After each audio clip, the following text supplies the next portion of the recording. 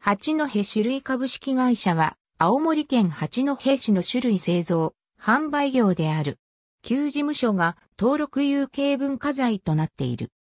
かつては、港工場、稲川工場、花海工場も存在した。平成14酒造年29酒造年本社や工場に南接する建物は、八戸大化後の1924年に事務所として建築された。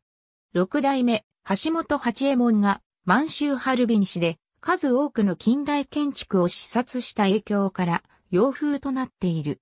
設計は第一生命建築課長の安藤康夫。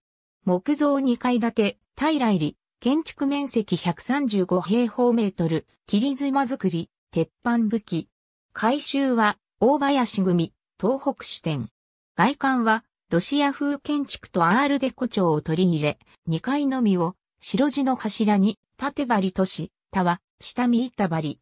1階の中央に小ウィンドウ、久しのランマニステンドグラスを設ける。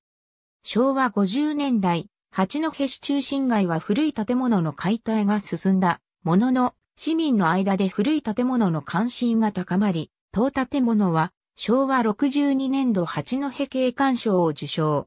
1998年に現在地に移築され、料理店として営業を開始。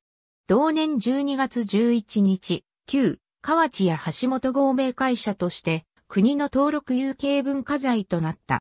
同社はかつて道のく男山、菊ごまの各銘柄を製造してきた。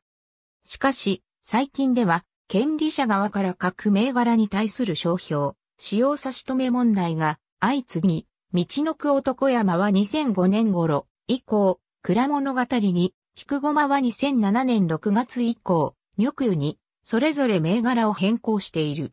ありがとうございます。